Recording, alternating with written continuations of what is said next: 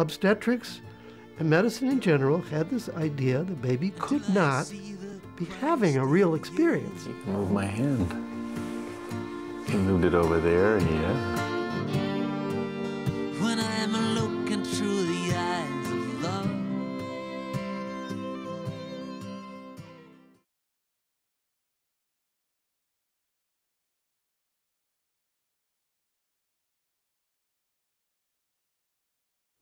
Now, one of the things the medical pro- profession, I think, must need learn, and really strong about this, is to really find out about what are the rhythms, what are the tempos that we need to move at, so that the babies can flourish and the moms' bodies can function the way they're designed to function.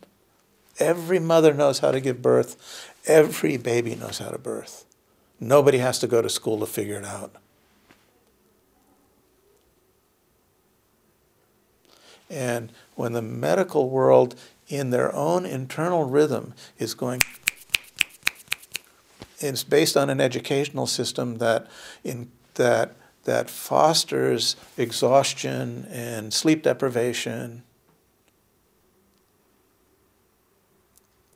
It's not possible for the practitioner to be in themselves enough to come from a truly centered place to really make the kinds of decisions and have the kinds of connection and quality of contact that not just the patient needs or the, the mother and baby and the family, but the kind of quality of contact and, and connection that the practitioner needs as well.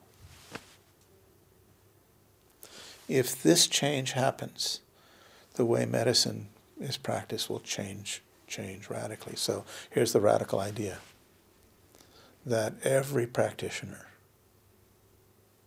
who engages in some way or way, shape, or form with patients, especially the prenates, mothers, families, partners, that they do the work themselves so they can actually come into attunement with the rhythms that they need to to be moving at so they can thrive within themselves and, and integrate their being as, as much as they possibly can. When the practitioner does that, doctor, heal thyself. When the practitioner does that, doctor, heal thyself. That person becomes an example and lives the talk. And when that occurs, you don't have to get into compliance issues. Because the people, the, the patients will be inspired to comply. Because the physician is living the talk.